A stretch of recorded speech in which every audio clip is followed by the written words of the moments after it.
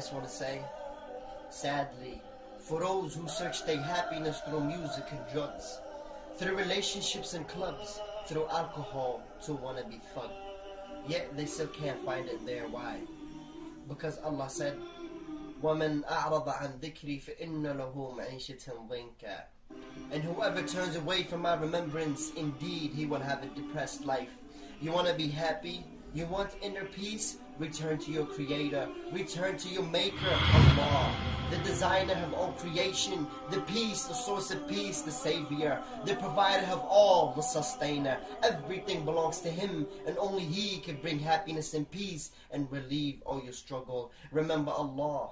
Be humble and don't be from those who forgot Allah because Allah made them forget themselves. Those who are living with no purpose, truly hypocrites with a smile, but deep down they depressed, full of stress, hating themselves. People, please don't blind your heart when the answer has been there from the start. Salam.